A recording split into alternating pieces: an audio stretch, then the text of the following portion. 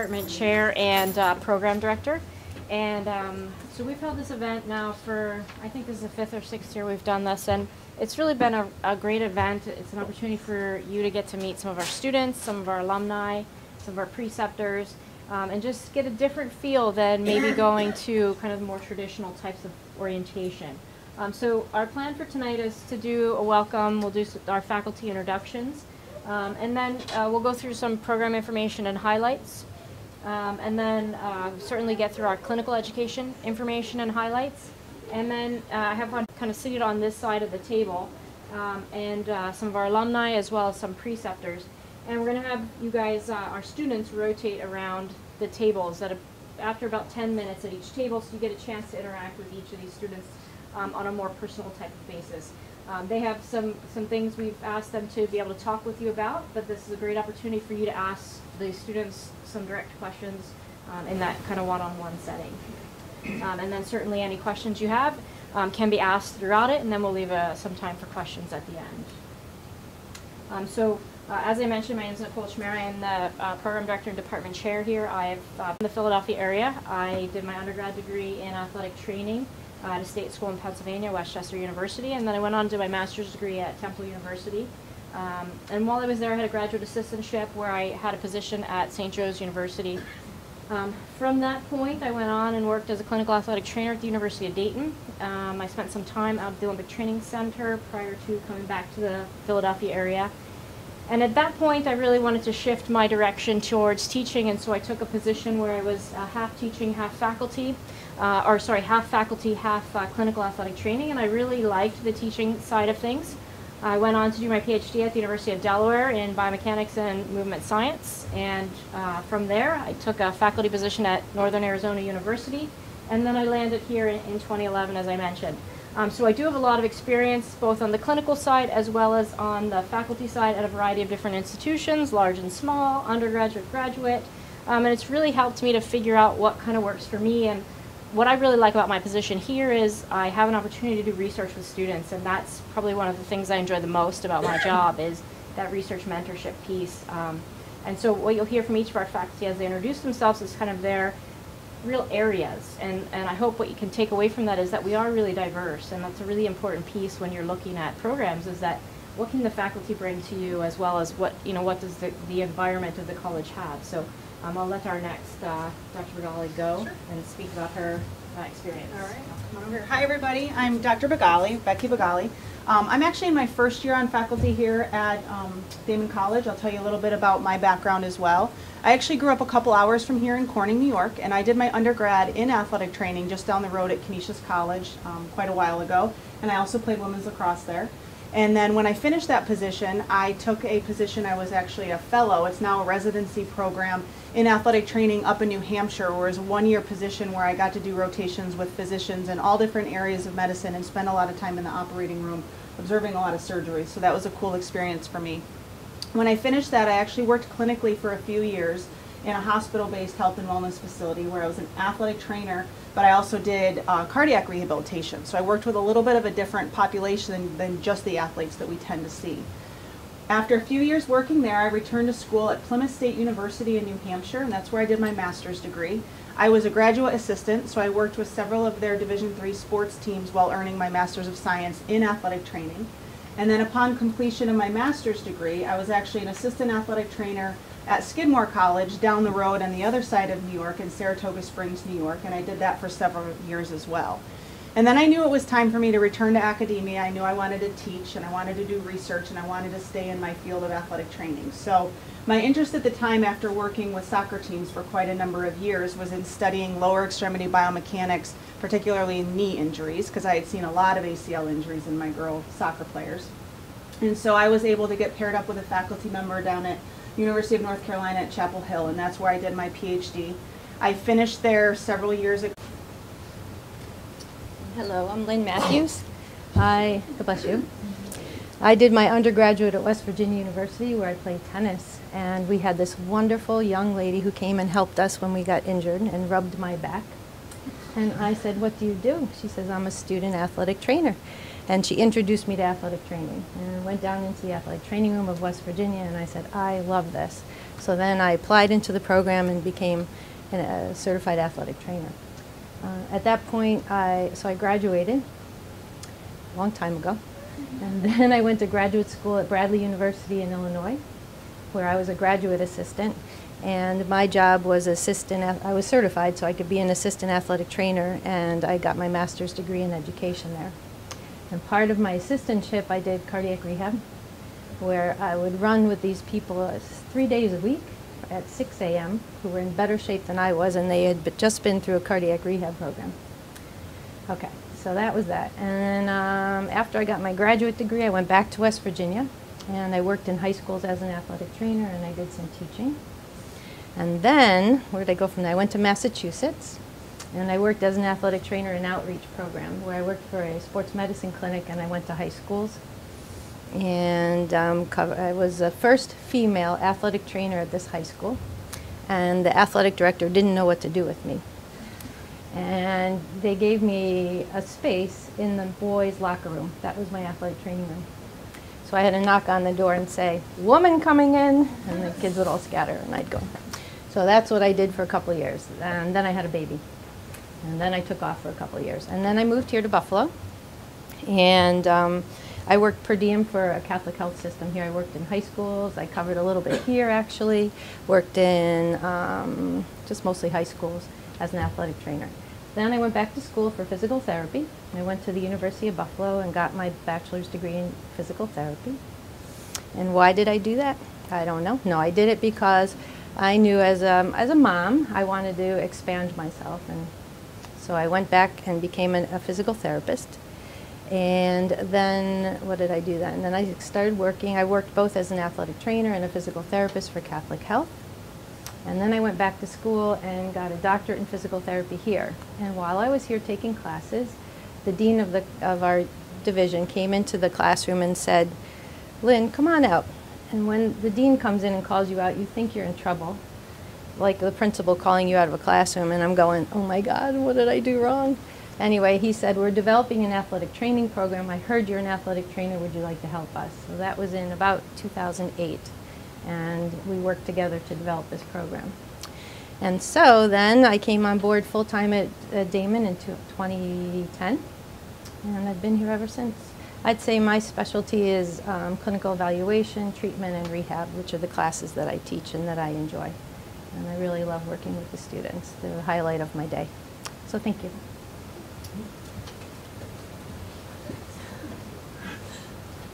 Um, I'm Professor Rebecca Besh. Um, I guess I'll give you a little bit about my, my background. It's not quite as long.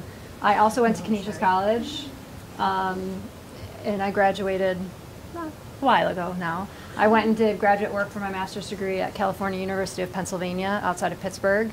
I was also a graduate assistant there. I had, I think it was six collegiate sports at that time, which was Division two. After that, um, we moved to Michigan where I was in a PT clinic as an athletic trainer for about a year and then took the head athletic training position at an all boys high school for several years. I then also had some babies, moved home here to Buffalo, worked per diem as an athletic trainer for Catholic Health for many years. Um, started as an adjunct here, I think it was 2006, and then started teaching full time in 2012. Um, my position is actually a split position, so I'm half in health promotion, which is the undergrad, which is an undergrad degree, um, one of the tracks which Dr. Chimera will be telling you about on your way to the AT piece, and then I'm also in the athletic training program. Um, I'm also a strength and conditioning specialist, so I teach a lot of the health and fitness classes in health promotion, um, so I think that that's probably one of my areas of specialty. I also love working with the students. I do a lot with service with our um, department and a lot with the alumni, so I kind of think of myself as like the people getter person, so I do a lot with that. That's it. Thank you. Thank you. Um, and then we have a host of adjunct faculty that we also use. Uh, some of them are our clinical athletic trainers here at the college. Um, and then we, our gross anatomy course is taught by an MD, which again, we really try to uh, hone in on people's specialty areas and have them teaching those courses because I think that gives our students really the best uh, uh, education that they can get when they leave here. So a bit about our program. There are two ways to come into our program. One is as a BSMS student. So this would be somebody who's in high school or somebody who's looking to transfer from another undergraduate institution. And then we have a direct entry program. Um, so we'll talk a little bit about the BS first, a little bit about the direct entry, uh, and then we'll kind of go from there. Um, the BS program, we have two ways to come into our AT program as a BS student. You can come in as a, uh, a three plus two student in the HPR or Health Promotion undergraduate track, or you can come in as a three plus two student through the natural science track. The main differences in those two is the natural science is a lot heavier in exactly what it sounds like. It's heavier in the science content.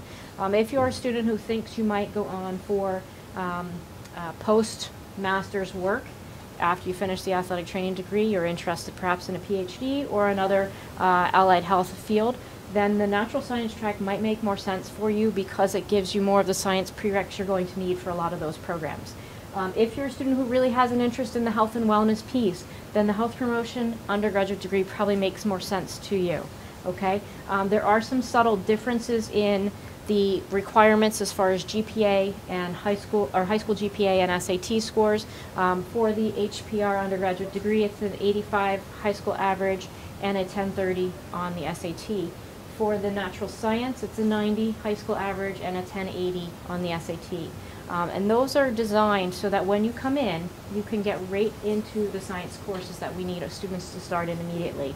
Um, our sciences are sequenced so that you've got to come right into um, our first bio course so that you can go from bio 1 to bio 2 and then you can go into human um, anatomy and then human physiology uh, and then those set you up for the third year courses uh, so that is a really important piece if you're looking if you're uh, finishing up your high school degree right now um, you should be looking at making sure you get in the higher level sciences as well as a high of a math as you possibly can take okay because those are going to be really important as you try to move forward into uh, any program that is an allied health pr program.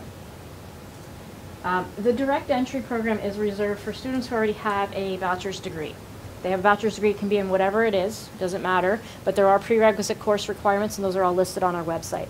Um, what happens with the way that these two are set up is uh, at the end of year three, you would start graduate work. So at the end of the year three of the BSMS program, you go into the graduate program. And that summer, you're joined with the cohort of direct entry students. So everybody comes in at the same time. It's a May start date in the graduate program.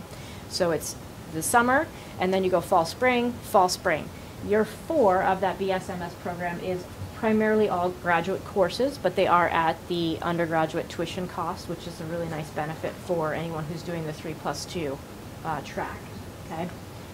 Um, the way that the program is scheduled or set up for the summer is it's a it's a nine to twelve weeks of classes in the summer, and then there is a bit of a break, and then students go into the clinical education piece, and this is a full immersion clinical education piece. So what that means is students are uh, doing their clinicals, um, however their preceptors are uh, working at their their institution. The student is then mimicking or following with, along with that preceptor. So this is the clinical educator. It's the athletic trainer who works in the clinical setting that we have an agreement with and they oversee our students while they're there. Um, they will stay in that uh, preceptor student uh, immersion piece until our classes start, which is the Tuesday after Labor Day. So students can start their clinical immersion anywhere from August 1st to about August 15th-ish, and uh, our clinical coordinator will talk more about that. Once we get to Labor Day and our classes start, students are in class, uh, Monday through Thursday, uh, roughly in the mornings, usually done by 12 or 1. And then from there, they go to their clinical education, and our students can speak to some of kind of that balancing act that they're involved in right now. Um, over the winter break, there's a bit more of an immersion piece again, where the students are not in class, but they are in their clinical, uh, depending on the way that their clinical is laid out. And so they, uh, they get that opportunity to be kind of more focused in that clinical piece again at that point in time. One of the big things about athletic training education is the concurrent classroom and clinical education.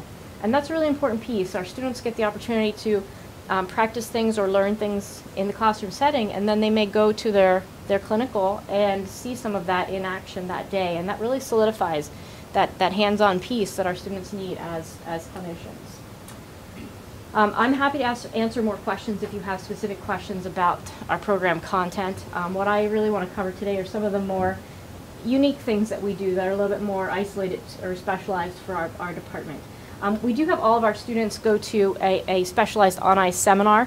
Uh, that's run here locally in Buffalo, and this is a picture from this year's event. And, and when they go to this event, they learn uh, their, their spine, um, spine boarding techniques for individuals in hockey equipment and on the ice. So they learn this in, in this classroom, they learn this on the field, but then when you put the dynamic of the ice in play and a hockey uniform, it's a completely different situation. So our students do go to that every year, um, and it's a really great experience for them.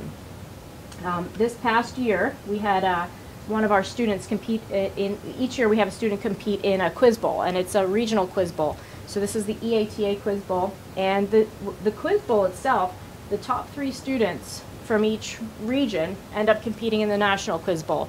And so our student last year, Caleb, uh, he did finish in the top three, and he was then uh, a competitor in the national quiz bowl, which really was a nice thing for us. He also uh, had the opportunity that he, he was awarded the uh, EATA, the regional scholarship, um, as well. So he, he uh, really brought a lot of um, attention for our program, which was really nice. I actually had a phone call from somebody that said, I, I hadn't heard of Daemen College, but I've heard of you three times in the last week, and so this is really remarkable. And so I had to look up where you guys were. So it's really nice that we're now, we've been in, in uh, graduating students since 2012, and we're starting to get some momentum behind us. Our students are doing really well. Our success rates on the BOC exam are, are really good. Our first time pass rate for the last five years is 100%. No pressure on our students taking it next semester. Um, but we are, we are doing really well. Our students are really well prepared. We have some of our alumni here who are working locally, and I think that says volumes about the quality of our students that our preceptors are wanting to hire them, and they're wanting to hire them in this area. And then this picture over here, uh, Danielle was a student of ours from several years ago now, but she, um, all of our students do a research project. And with that research project, they start that in uh, their second, second uh, semester of the first year, so in the spring. They start a research methods course, and then they go through research seminar one, research seminar two. And in this process, they have the opportunity to work one-on-one with a faculty research mentor and develop their own independent research project in which um, they collect their own data, they analyze their own data, they write their IRB applications, so they really put a lot of effort into this. Danielle's project was accepted. She had submitted it for presentation at our national conference a couple years ago, and she, she did. Uh, that's her poster right behind her there, and she's standing with one of our other students who happened to be there. Um, to go along with the research piece, all of our students do present their research here at Daemen College during Academic Festival. That's something we'll hold each spring, and it's a campus-wide uh, event. So all of our uh, students who are ready to graduate will present their research at that particular event. Some other things that we do, you see these pictures over here, we do a simulation event, and this is this will be the third year we're running it. And this simulation event is designed for our students who are first year students in the AT program to be able to demonstrate their skills in an event where there's some stress and some, some pressure because that's the reality of being an athletic trainer, that there could be some stress and some pressure on an emergent type of condition happening to any one of your athletes. So this is example of, they have different types of scenarios. So this one is a group scenario, this is an individual scenario, they also do a partner scenario. And who writes those? You guys? The second year students actually write the scenarios, and then they help the students, the first year students, with that scenario. And then our BSMS students are our models. So it's a really nice event where everybody is involved. And this will be the first year now that we've had BSMS students writing the questions. So they're now graduate students, but they were the first group who were the, the uh, uh, mock patients in, in those events. So this will be the first year we have kind of brought this full circle for us. And then the other thing I want to point out is the service piece that our students do. Uh, both these pictures are from international service trips. This one is Vietnam, and this one is Haiti. Thank you. Um, so Dr. Matthews takes students uh, internationally, and they participate in medical mission trips. Both of these were the Hope for Tomorrow Foundation trip, um, where they went and they participated in uh, surgeries and seeing patients um, alongside uh, a group of physicians from the Buffalo area. Anything else you want to say about that? We have uh, PA students from Daemen that go with us, nursing students, PT students, so it's an inter collaboration. And then our next trip, were you, were you gonna I talk was. about that? Yeah, do you want to talk about it? Sure. Go ahead. So um, this year, I'm taking two students. We have a uh, group down in Dominican Republic who does service work, and our students from Daemen will go down and help out. This year, I'm taking two athletic training students with me, and they've been kind enough and worked very hard to create PowerPoints to teach about injury prevention to people who work with the Major League Baseball teams. So it'll be an exciting trip, and that'll take place for two weeks at the end of January. So. And they're going in conjunction with um, another trip that's going, and so it's an immersion piece where you spend the first week really immersed in the Dominican culture, and then the second week is spent really with the service piece. So it's a really nice trip. Um, this that that undergraduate trip uh, that they're going in conjunction with is open for any undergraduate student to do if they wanted to, um, and that's um, uh, run each year. I've gone on at one time as a faculty.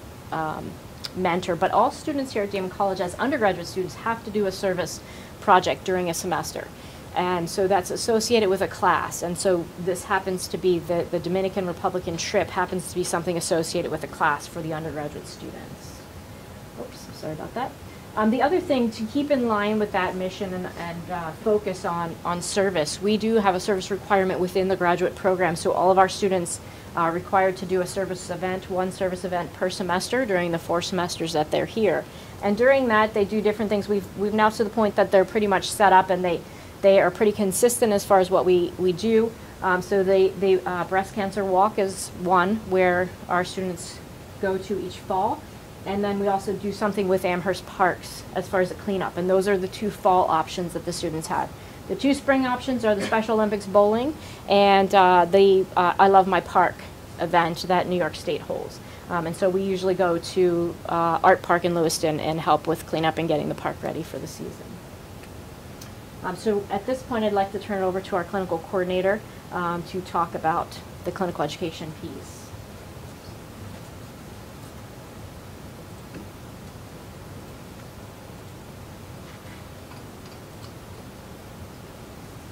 All right, thank you. So I'm going to spend a little bit of time talking about the clinical education piece. This is definitely something that I'm sure a lot of people have questions about. Earlier, when I introduced myself and Dr. Chimera introduced myself, he said that I was the clinical education coordinator. So I wanted to take a minute um, and just tell you a little bit about what that means, what a clinical education coordinator does. My role here is really to be the liaison between the student, our athletic training student, and the preceptor that they're going to be working with out at all of the clinical sites. All right, so the big thing is being that liaison, but I also oversee the administration of the clinical sites, the preceptors, making sure all the credentialing is in place. It's a lot of administrative duties there. But I think one of the most important things I do as a clinical education coordinator is striving every day to identify emerging opportunities, new clinical experiences for our students. I work very hard to line up new affiliation agreements so we can continue to grow and expand on the clinical sites and the placements that we're able to put students out to. When we place the students out at the clinical sites, there's a number of goals with that. The primary purpose of doing these clinical education experiences is to give the students an opportunity to apply what they're learning in the classroom. right? We spend a lot of time in the classroom, in lecture settings, and also in lab settings, learning a lot of information, a lot of material, a lot of content, but then they need to get out into the clinical sites and be able to utilize those skills and knowledge on real patients. And so getting out in these clinical sites, they can apply their knowledge and their skills, they can grow their clinical abilities, they can get patient interaction, which is not an easy thing at first, it's something that develops over time. We develop their entry level clinical proficiency so they can become certified athletic trainers at the conclusion of this program. And one of the biggest things we do, and we strive to develop professional behavior, right? They're growing as individuals and as professionals also. So these clinical experiences help them hone in on all of those skills. The clinical education that the students experience are really housed in four practical application courses over the four primary semesters, fall, spring, fall, spring, that they're in the graduate program. There's also one additional summer option where if there was something going on this summer in between the two full years where they had an opportunity to do another clinic, um, clinical placement, they can do an optional course there. The biggest thing is when I assign these individuals to a preceptor, they're assigned to that individual and to all the responsibilities that preceptor has. So a lot of times you'll hear students say, oh, I, I worked with women's soccer, I worked with men's basketball. They actually, that's inappropriate. We say that they have a clinical education experience with a preceptor and they get to observe and be with them and gain clinical experience in all the avenues that they do. So usually you get to see, when you work with someone, you get to see a variety of sports, a variety of athletes, and a variety of settings.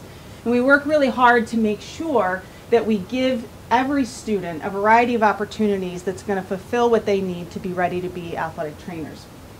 All of the clinical experiences are monitored to ensure each student experiences a continuum of care in a variety of settings. All right, so as the clinical education coordinator, I have to plan and direct kind of a trajectory for each student. I work really hard to get to know the students, what their long-term goals are. I certainly want to align them with experiences that are going to help them solidify that is what they want to do. In some cases, it ends up not being what they want to do. But we also know that you don't know what you don't know. So there's certain experiences you have to have before you can truly make that decision. So with that, we have a variety of clinical placements, and we make sure that every student gets some experience within these. Some of these are dictated by our accrediting body called the CAATE. Some of them are actually Daemen College policies that we as faculty feel strongly that each and every student needs to experience. We do have college and university settings at all division levels, Division 1, Division 2, and Division 3. We also have professional sports. We have several high schools. And some of the other requirements is you have to get experiences working with equipment intensive sports. You have to work with a sport that requires helmet and shoulder pads, such as hockey, football, or lacrosse before your time here is done. So you have to do equipment intensive sports. You have to work with patients of different genders. Right? You can't spend all your time working with female teams or male teams. You have to have experience with all of the above.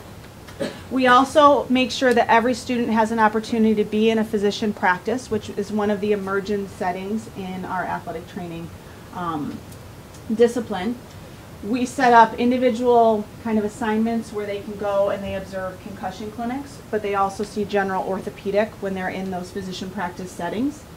And all students are required to complete a non-sport or general medical um, experience as well. This means they go into a physician practice and they experience hours with a physician where you're working with patients that are not athletes, they're not sport-related injuries, they're dealing with more general medical conditions. Because that is a big part of being an athletic trainer is being able to identify those general medical conditions in our athletes, know how to treat, know when we need to refer. And so that's a lot of coursework we do in the program, and this Gen Med rotation allows them to utilize those skills in a clinical setting as well. Okay, oh, it double clicked here. The hours requirement for our students each semester, so you saw that the clinical education is immersed in four separate semesters in uh, practical application courses. Each semester, you have to have a minimum of 200 hours, but no greater than 500 hours. And depending on what preceptor you're working with and what clinical setting you're in, sometimes you're pushing that 500 hours, sometimes you're not. But it's kind of all the ebb and flow of the program. You may be going a little bit harder one semester, and then maybe it's not quite as taxing another semester. So between 200 and 500 hours. If you do the optional summer um, semester clinical education experience, it's a minimum of 50 hours with a maximum of 200. So it's a little bit less in the summer. Okay. Um, all students are required to have at least one day off per week when they're doing their clinical experience, off from all clinical um, education responsibilities. And our, our week hours go Sunday to Saturday. So at least one of those hour days you have to be completely off from your clinical site responsibilities. We do use an online reporting system called ATrack, and this is our way to be able to communicate between the student, the clinical education coordinator, the program director, and the preceptor that they're assigned with. We have lots of great information on there, but it's also a way to be doing evaluations and communicating and logging hours, and it's a great way that students out in the clinical sites can log their hours on their phone and be in communication that way. So that's something that you would get access to in the program. So I'm sure you're interested in hearing what some of our clinical sites are. And again, some of these are upcoming or emerging settings. We've got lots of other things in the work, but currently, where are we placing students? At the professional level, we currently place one student per year with the Buffalo Bills. This is kind of a separate application process that individuals have to go through to be selected by the athletic training staff with the Bills. And so usually going into your second year is when you would get that placement. It's a little bit more of a time intensive placement. You're with them for a longer period of time. But if it fits your goals and aspirations and what you want to do long term, it's a great option for some of our students. Upcoming, the reason the asterisks are on here is the upcoming um, placements we're going to have with the Buffalo Bandits, which is a professional indoor lacrosse team, as well as the Buffalo, Buffalo Beauts, which is a women's professional ice hockey team. So we're working on those. Those should be in place fairly soon to have students there. Okay. Our collegiate settings, we have Buffalo State College, right? These are alphabetical order, obviously not in any particular order. Buffalo State College, Daemen College, right? We have lots of preceptors and lots of clinical education opportunities here at Daemen College, which are wonderful. Um, we just started placing a student at D'Youville College, so it's Division three campus. We also have Erie Community College, Niagara University, and University at Buffalo. So we have a lot of college placements around the Buffalo area that students are able to be placed with matched with a preceptor at these settings and be able to experience all that they do in those settings. High schools. We currently have Grand Island High School, Niagara Falls High School. So you can see that those are a little bit further away. Um, we do prefer that students have access to a car to be able to get to their clinical uh, education sites. But we do have a number of students that if they don't, there are public transportation options as well, and so we make that work. We also have students at, with preceptors at Nichols School, at St. Joe's Collegiate Institute, as well as Sweet Home High School. All right, and that'll kind of continue to grow too as we get more preceptors on board. We also have a variety of non-traditional physician and general medical settings. All right, so we have Excelsior Orthopedics, which is more of a emerging physician practice. We're placing a student there this winter for the first time that will be um, observing an athletic trainer who is permanently in-house as an athletic trainer with an orthopedic doctor there at Excelsior.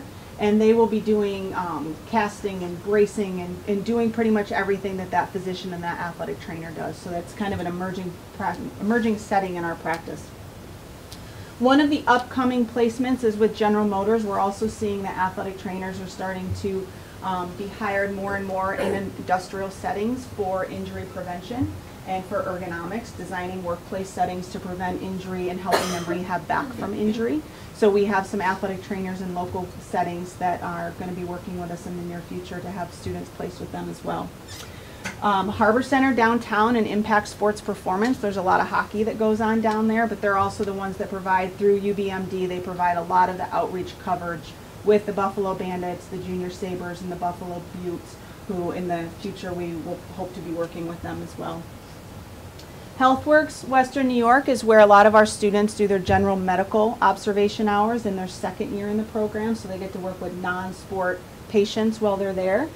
And then Niagara Falls Memorial Medical Center and UBMD Orthopedics. And so we have a large variety of clinical sites that we're able to pair up our student. And again, they're placed with a preceptor who is an athletic trainer, and they get to experience all that that athletic trainer does. I put together just a few or pulled a few samples of trajectories that some of our students have done in the past. Typically, every student gets seven or eight clinical uh, education experiences. And there's also, throughout the program, there's going to be different immersion opportunities or one-day opportunities that students take advantage of.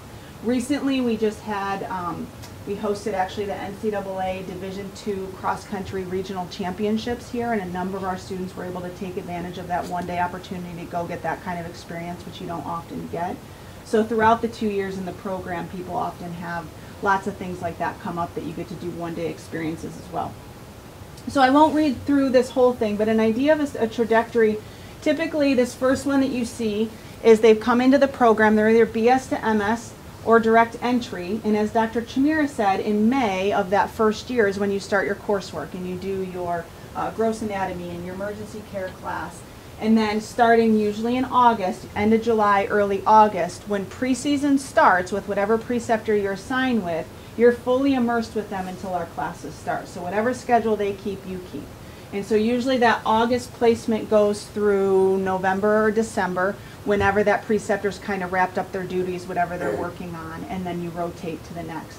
And so what you'll see when I go through these, I put three trajectories up here, it varies. Every student has a different opportunity. And again, we get to know the students, we get to see what preceptors they'll fit with really well, what opportunities they need to see, getting them experiences they didn't know that they may end up really liking. I always say there's a method to my madness. I'm trying to place people with opportunities that I know that they need to see.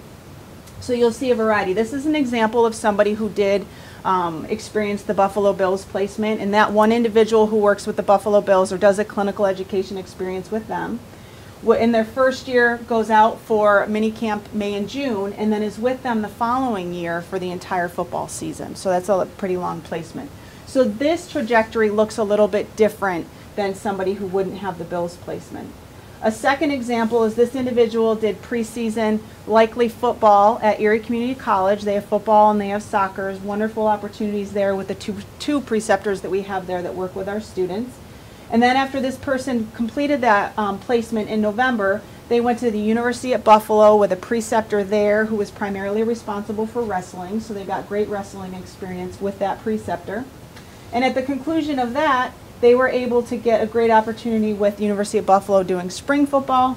They went back with them with football in the fall, a great high school experience, a non-sport gen med experience, and then Daemen College for spring sports with whatever preceptor they were assigned with. And I didn't put the preceptor names up here, I put in institutions, but again, I can't stress enough, they're assigned to a preceptor, not to a sport. And the last one I put up here, this individual started their first clinical experience with preseason with a preceptor at UB that works women's soccer. Okay. And then came back to Daemen College in November through March. So ideally, whatever preceptor they were with there, they covered a lot of the winter sports or they got experience with a lot of the winter sports. UB spring football, Nichols School, up to Niagara University for hockey, HealthWorks, non-sport, Gen Med, and Amherst High School. So you'll see that every student has their own path and has their own trajectory. The key is that you get to work with sports teams of both genders. You have equipment intensive in there, so you worked a football, a hockey, or a lacrosse.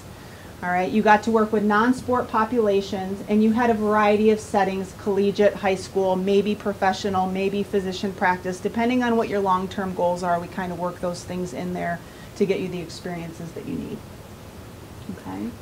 And I know we don't have time now, but certainly if anyone has any follow-up questions, and I'll be around for a little bit, don't hesitate to ask me any of the clinical education questions. I'd be happy to answer. Okay? Does anybody have any Do you have any we- now?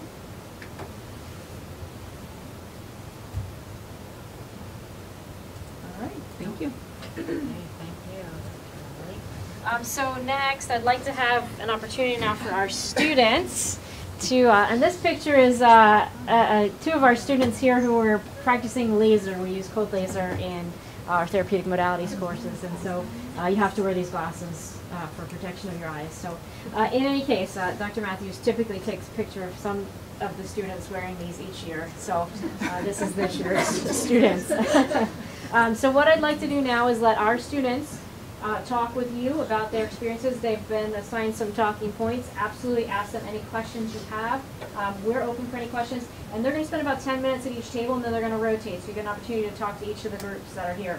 We also have um, alumni. Here's one of our alum and then there's two of our alum back there. And then we have a, a, one of our current preceptors who works here at Daemen College as well. Um, so it's an opportunity to really talk to uh, students of different levels, previous students that are currently working in the area as well as preceptor. So, go for it, guys. My name is Katie. I am uh,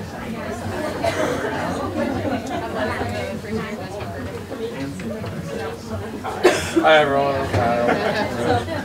I'll just, uh, um, this is Jerry. Oh, there we go. You guys have any questions to start? Anything you're curious about? I don't know if you can answer this, but she already filled out her application and sent it in. And on the application piece, it's second year, check the athletic training program. Now I'm like, do we need to go back and change that? Do one of those other It would two? be choose what is intended for whatever the bachelor's course is, so either health promotion or natural science. As soon as you get accepted. It's set, it's just making sure that within those.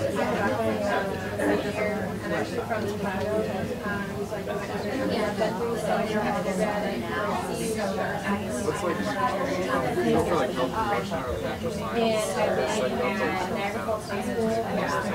So yeah, she was talking about, uh, I went, I was in CSN, so I did health promotion and natural science a little bit. I think that was new this year or last year, so I don't have much experience talking about that. But I believe it gives you more of a science background? Um, swimming and mental basketball. I think the nice thing about the BS part is that you're getting a bachelor's. Yeah. It's kind of a neat thing, you're not just, you're not just getting a master's, you're getting, you're doing it while you're also going through grad. Uh, I'm an alumni of Daemen, so I did the three plus two program here. Um, and then I graduated in 2016. Um, I've been out in the field now for two years. I worked at State College. Can you just tell you about, um, with each day typically will start, we have sort of courses that are set up sort of nice so that we have Fridays off. Like nights, um, but I am Every Friday we'll that. have, you So know, last year. off. We set up that way so that Saturday, clinical placement, we'll all travel. So I currently, I was currently with the University of Buffalo football team, and I had the opportunity to go to. Yeah, I, um, I go there against Now, the weekend, Yeah. Yeah, he, uh, It's a really cool opportunity, that way you don't have classes interfering, you're still getting education, and you're having the opportunity to travel as well. Was that an additional expense? Uh, no, no, it's not, so anything that you can travel. First time I- doing Yeah. Oh yeah, well that's how long we could until you're paying for these No, airline yeah. tickets. Yeah, I had I, a um, crazy experience at first, like going charter the plane going to somewhere in Ohio. Which is absurd, but it's, there's definitely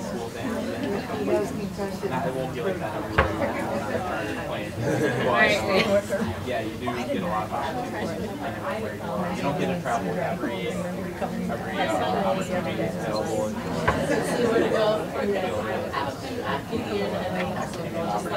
Yeah, yeah. Yep, yeah. I found this specifically really like having a lot of things really all the time. No, it's in like the, to, like, once you get assigned, like, they kind of go through the schedule. Like, oh, this, this might be enough. Now, it all depends on things. You might have a bowl game. That would be pretty awesome. who knows. Are there a lot of um, general ed courses that are required just as part of being here at the school? Or I is it, our is it really more we designed? So that was part of, you know, the graduate but we were all here being meeting. Whereas like say with grade was the one. I know there's like a EC 101 course, so you are getting a little bits and pieces throughout, but it's not, I think the third year is the most trying to get you There's AT 101, there's Yeah. a 201, and there's also the uh, AED and CPR course. Yeah. Uh, so those are three classes that kind of large. Right, but other than that, then you're taking like Yeah, very history, math, Yeah. writing, whatever. Yeah.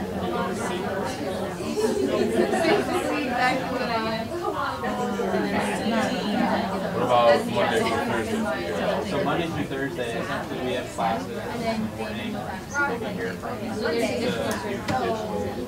different first year,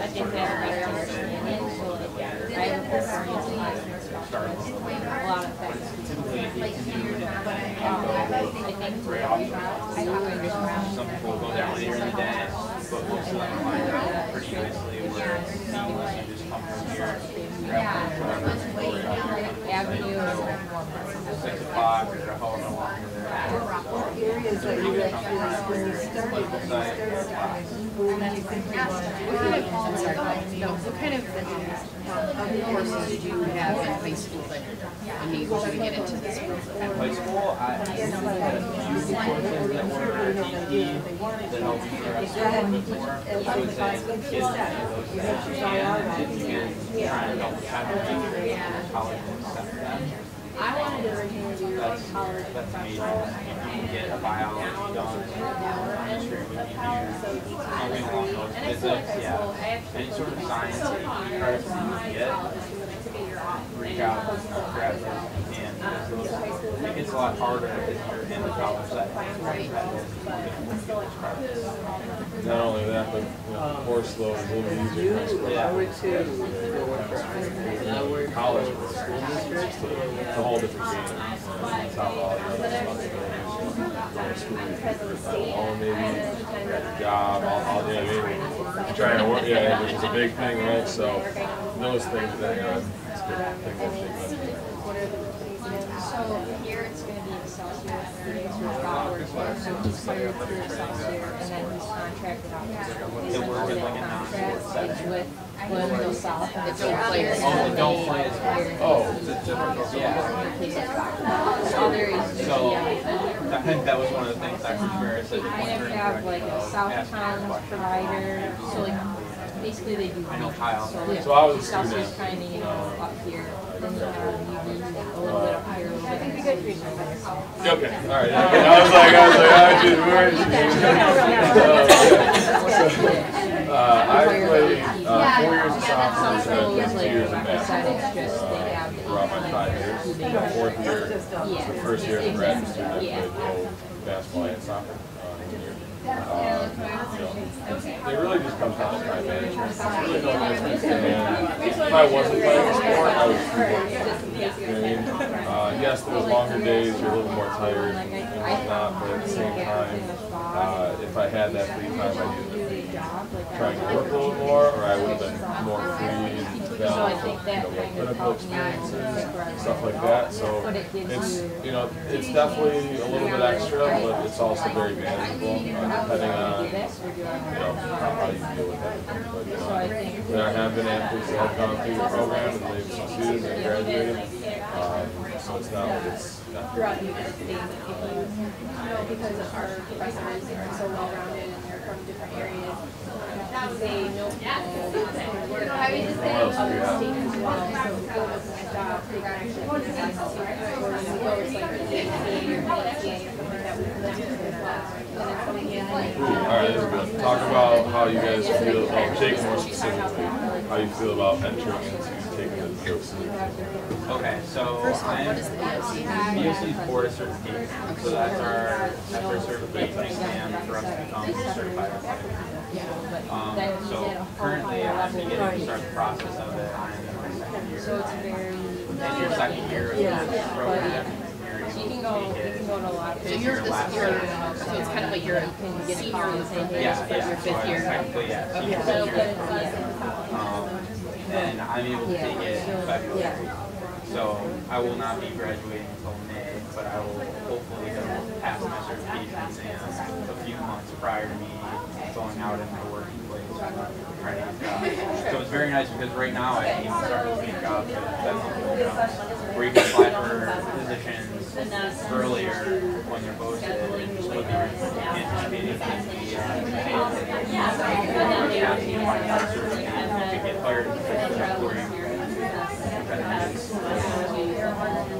I think David does really well. Um, I'm a first year but that way, uh, but every year try to have a every class and this one class which makes up review. So I think it's really that gets my for doing it. And then to each semester and sort of build upon this one depending on the day. and it adds on everything you learned in those courses in a format Kind of like when they're taking practice readings. Yeah, it's like when you're doing practice SAT stuff, you're, you're getting those questions by students. It's also these questions that you're sort of studying. So all for you, you did the three two program, going straight to class. And I did. Yeah, I did. Get certified. How long does that happen? You don't have to get recertified, it's just maintaining. Is that every two? Fifty every two years. Which is, Like, and is it something you do online or is something? so, yeah, so with, with regards to CUs, um, you get twenty-five total CUs if you go to the conference, the national conference. So that's a nice way to, uh, get, you know, it kind of, obviously takes out half.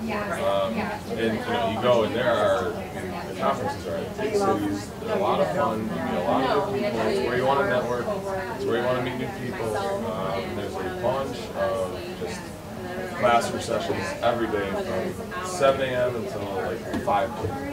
You know, And there's, there's multiple at seven AM, there are probably at least ten to fifteen.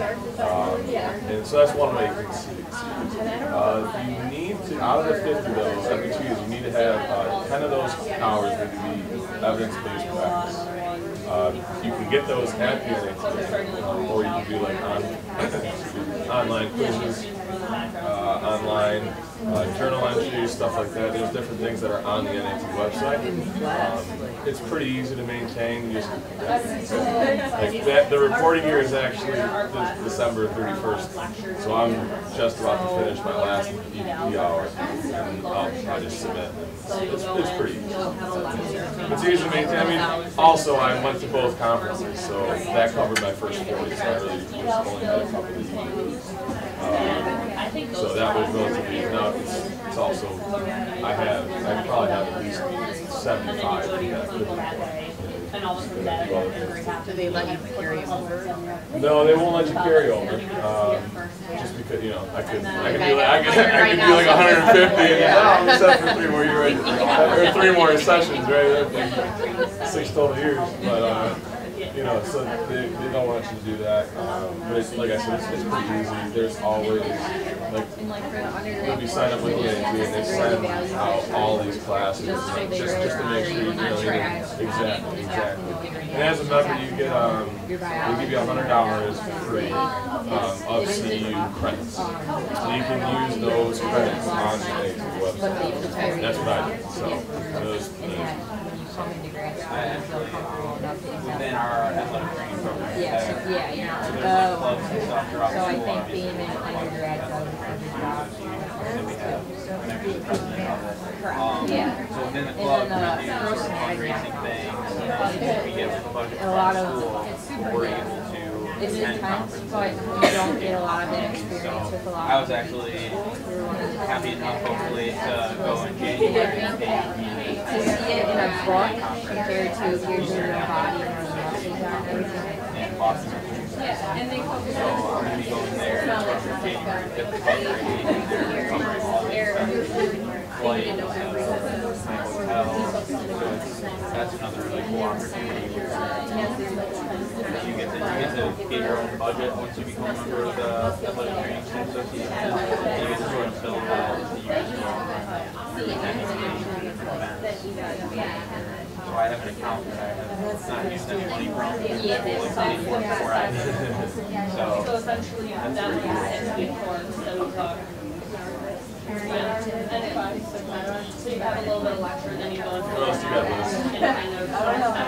How do you, let's just talk about like your first, like semester. Where- Okay, where- ding ding, oh. we're Oh, gonna. no, no, no. Say bye to that.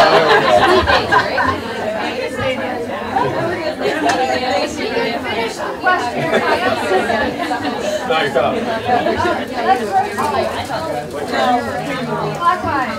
that. I had, I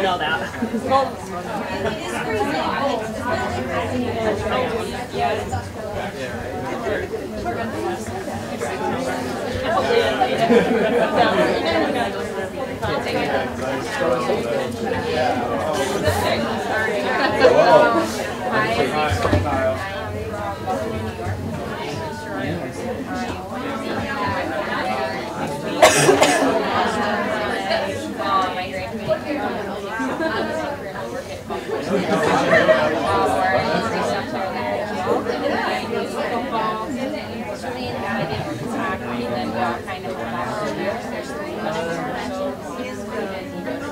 So I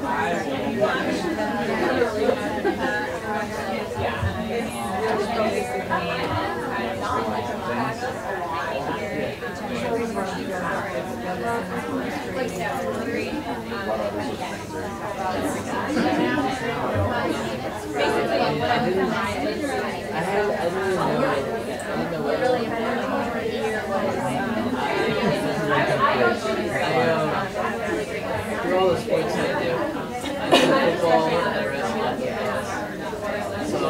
getting hurt a lot, lots of my friends got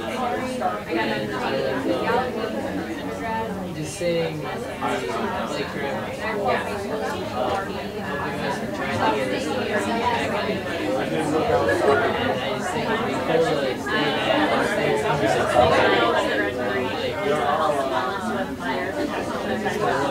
conversation. I'm a second year. Probably have, I, um, I helped sketch out some. uh, There's a team from there. They give you guys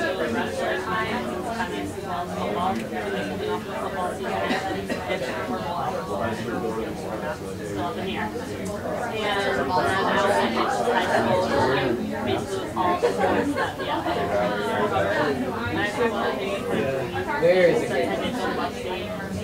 Rachel was there at the time when I was there, but I was in contact and working with one of the Yeah. Yeah, but she was there, she graduated from there, so I got to observe her, interact with her, and also be Yeah. I was interacting with her. We had to visit about the program, really emphasize her anatomy and and a.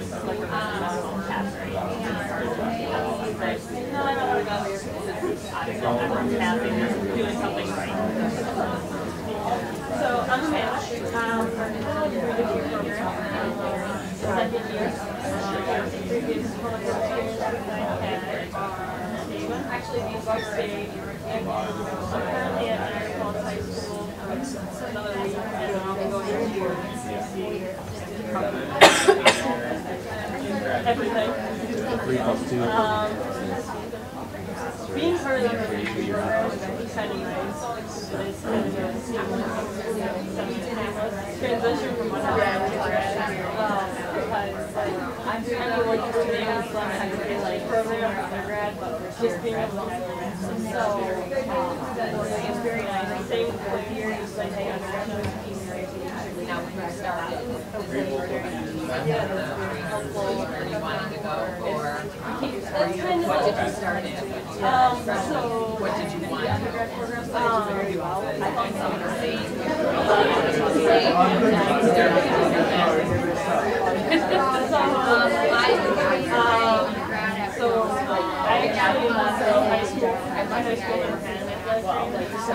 that kind of you know, yeah, feel.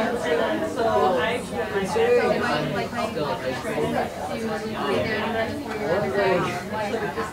What what, kind of classes do you think I could take?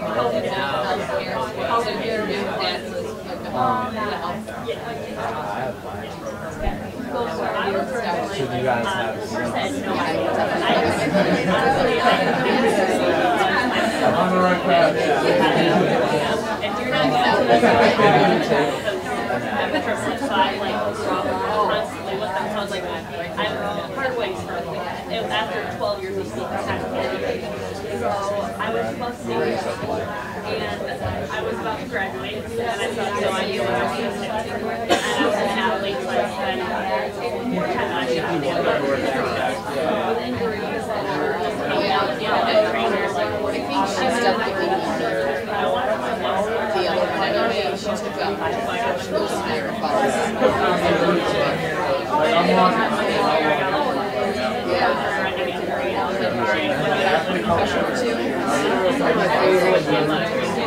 Uh,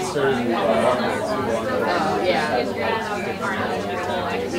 Uh, but uh, she took a page off her sports medicine class there. Um, and she took that and loved it, and it was kind of brought her into this idea. So, but she hasn't taken. So she was able to get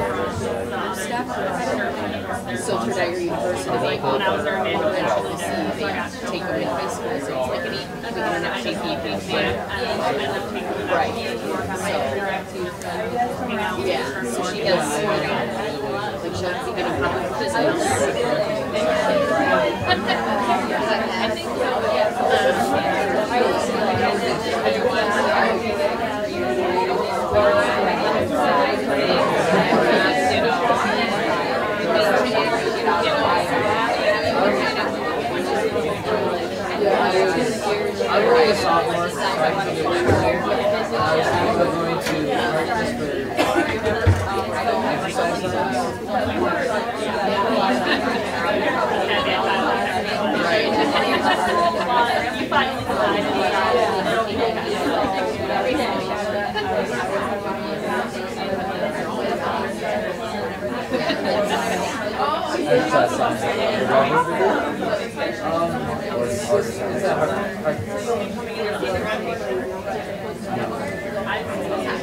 Well, that's what I was. On my own, and I didn't have someone like,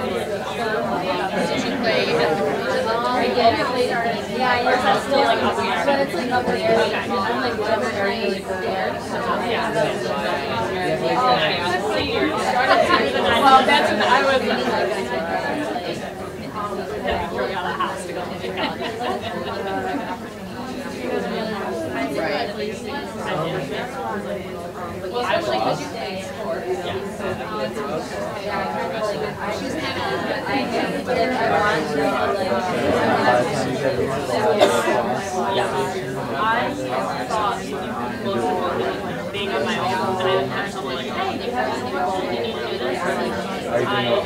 mean, like, I was thinking, it's like, wasn't, you know, like, not like those whole classes and break where I tried to do But if I class a day, if I was looking at it, ten hours, nothing, I would probably not switch now. It did help but it was just kind of learning how to if you don't get your work done. You have midterm that was just terrifying enough. You you top of everything. I mean, don't sit on your couch and watch Netflix. That got to help you. Might seem great in the long term, or initially, but in the long run, not the best. So, still trying to learn.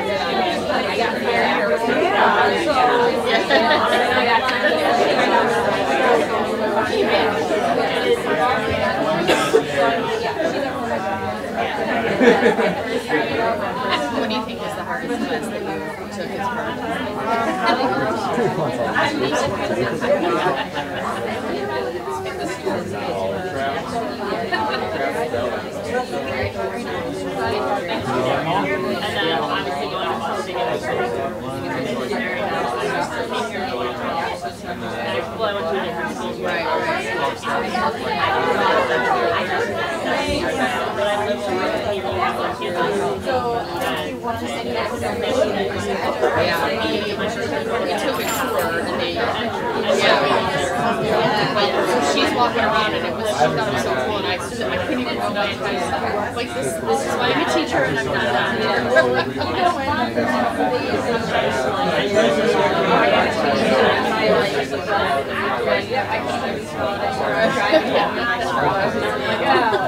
It was actually was out there Friday.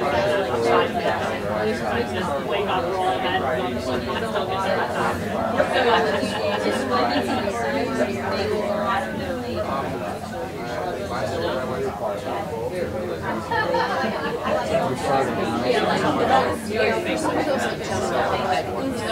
getting done three two, right? So I know like a lot of students. So I know that they have, every school. We're learning, like, we have learning centers, we have ed centers, we have learning, they have,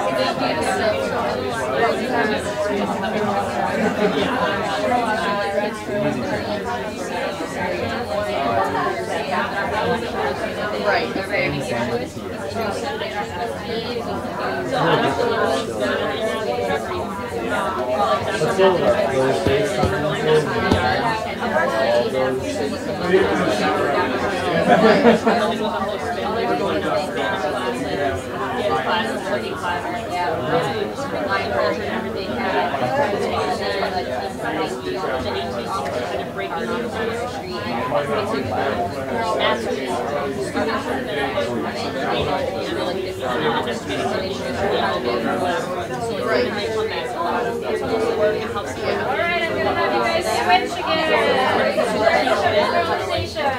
Finish up and then switch. to get to this point. Are we going to that one? I hear you. Yeah, it Oh, yeah.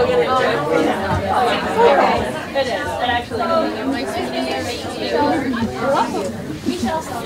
Oh, forgetting.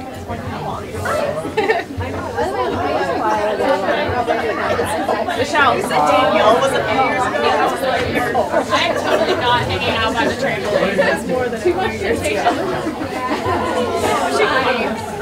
I'm Michelle, nice to meet you. No, me, you. Me. It'll be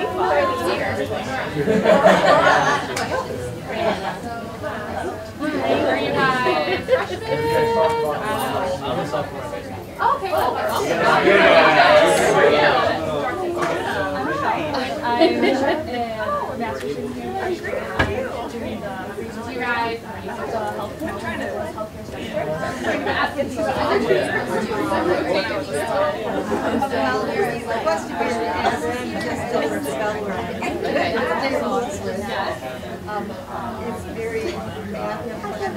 Are you from this area?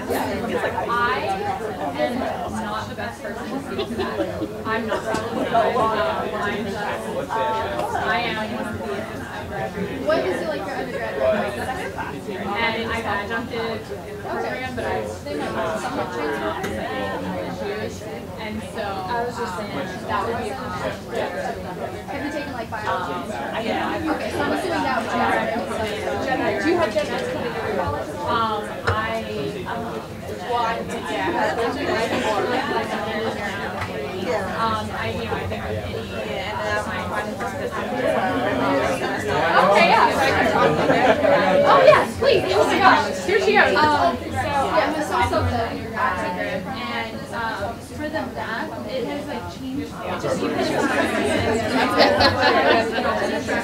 the room where I'm in. Like now, like just from experience and I'm in the lower promotions track for the next side, but like, uh, it just started. Um, so.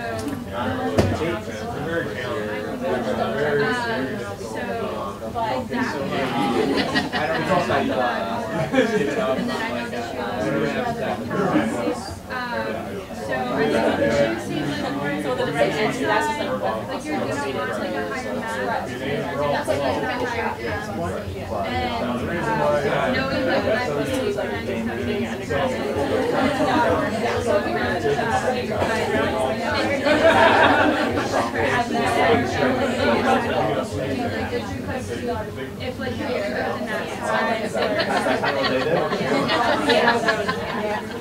Okay, so the nat science, science like track is more, uh, No, I think it's more of a I have not. Um, it's a little bit more advanced, like with Now I'm eleven chemistry. um, and I don't know like a lot about that one because, uh, that wasn't really an option when I came in as a freshman. And so my track, the HDR track, is you do like a lot of courses like promotion, so you do like, um, uh, classes that involve like community education, like with, um, and like I said, like focused on like really help different programs. And then also has now like I'm in a, you know, more like a CPR, like emergency one like that's So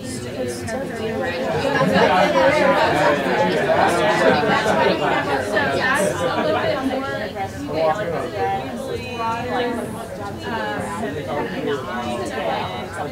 so just started long so it's a good athletic training, yeah, so that's kind of the difference between the, um, the net side, like kind of the HPR, like, the net side track, like I said, you can like more. With my tracks, we did, um, we one, And then so in VOC, so it's like bio courses and the other so, um, except for like chemistry, only have like chemistry like one up here. Um, so like didn't have to do the higher up chemistry so, um, Just so he knows, yeah. yeah, um, if you have like a strong background in chemistry, like you would be fine with like the nat science course, um, so if not, I would recommend that you like, Seven people every day. So like. we still talk like. Oh But it's great He's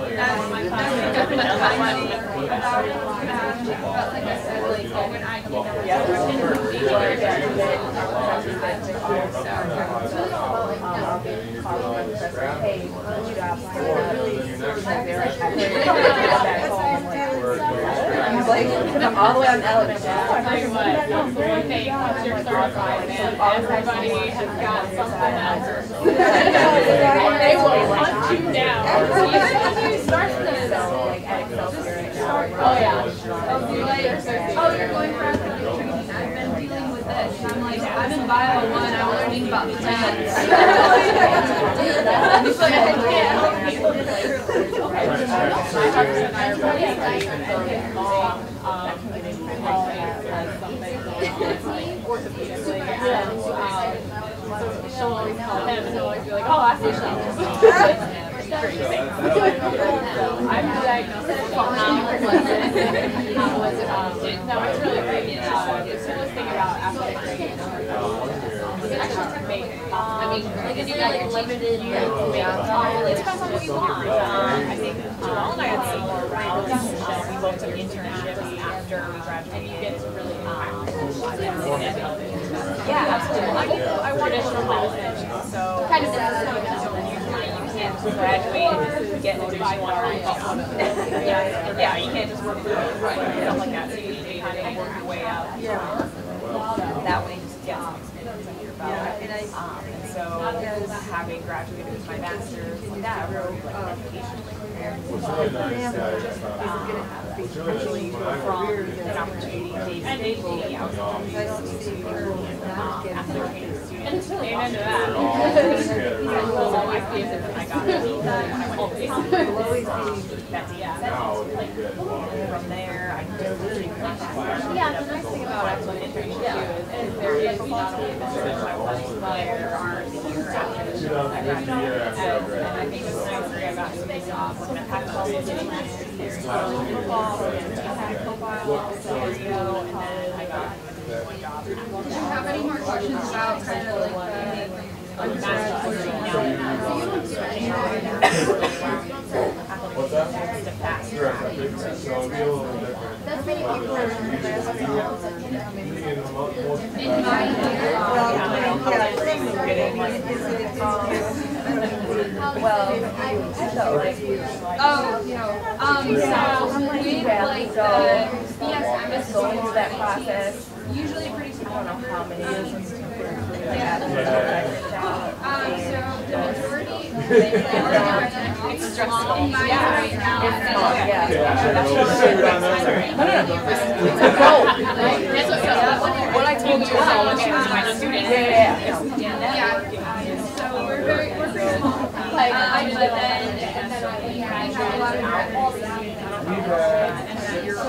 that's why when she said they I were was like, like, one yeah, person in Buffalo, no, and then- Yeah, well, the health is a kind of singular. it's a very- Yeah.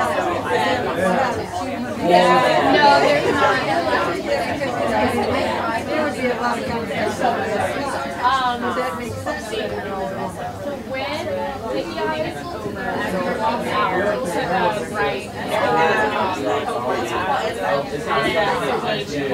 yeah, exactly. And even put your name out there. So you beauty, especially once you get out of the general, you know, everyone is taking bio 101.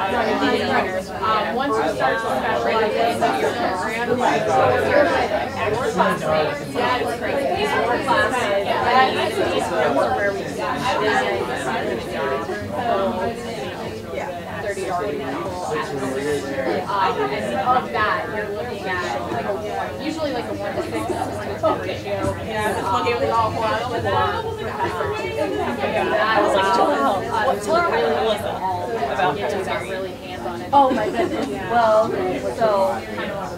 going through that process and trying to get an internship somewhere because I was looking at Florida, South Carolina, ended up in Alabama, don't know how, I'm oh, just like, oh, I'm thinking about going to my preceptor list I know I don't want.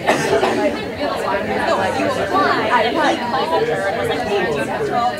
She was like, oh, yeah, oh, she applied. So then we take preceptor back to was like, why did you tell me? I'm like, I didn't know. So it's just like everyone knows everyone, and then you just have to look at state, not knowing anyone, but So it kind of, then you have like your um, AT, like you have AT one and then AT two point one, which people come in. Um, so you have like a lot. Kind of hard on the table, and they're looking at me. Uh, Oh, that's so I look over. Oh, Sean Gibson. I know Sean Gibson. I don't know like that, but like, oh, I've seen him a couple times.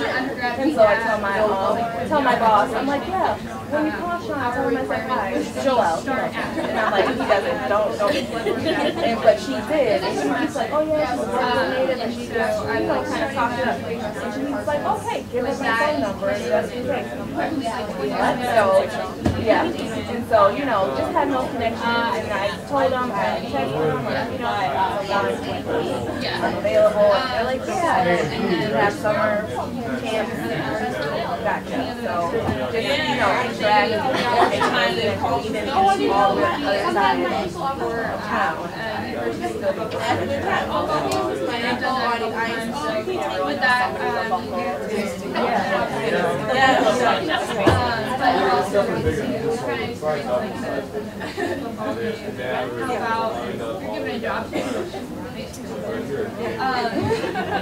but yeah, so um, it's really fun. I mean, yeah, I know that like like other so I did. I really like I can never. I was just five times whatever. Like well, that's what college is. It's like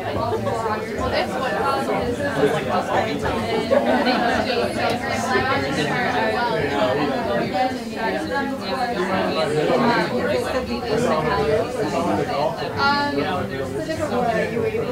I I. I I feel like, so I go same year. Colleges, I have a student interested in like really having to come in if I get out like now And that was, a lot of fun, and I gained a lot of experience. It definitely solidified what I. Yeah. I am the. We have, we have us. We have a couple of ones right now from, really eye-opening to work there. They're not shadowing me, but they're intermingling with professions. And we're, uh, you know, we have those guys around, and we have somebody from, Victoria Campus. I have professional shadowing, and they don't you those opportunities definitely there. We don't take these people down very often yeah, I think especially there's, uh, there's, uh, learning curve, I was telling that, and the program here. So, the undergrad, actually, yeah, and we found out that quite a lot, like, there was there, so, yeah, actually, I would make so.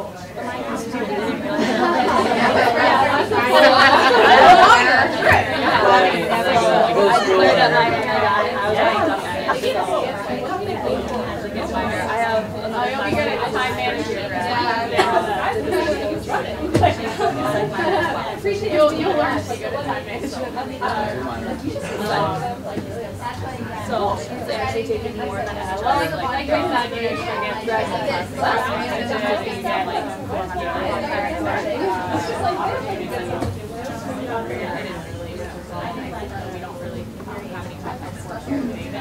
All right, we're getting pretty close to the end of uh, our time here. Yeah. Just be cognizant of, of your time.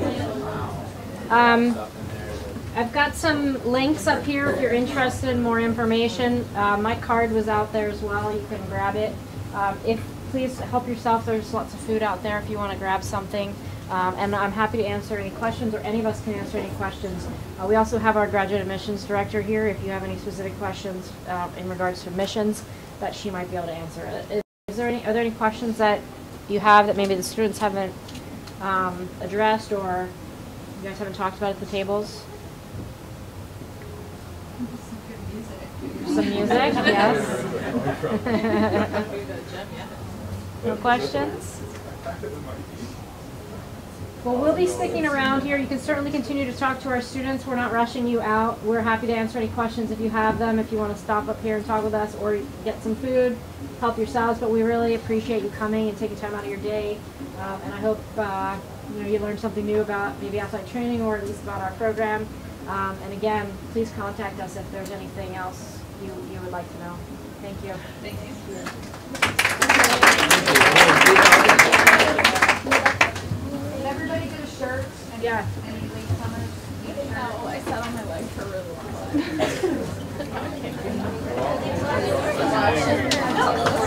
Thank you guys. Thank you. How's it going? Yeah, it's a good turnout. Yeah. Yeah. No, I like the table deal. Yeah, because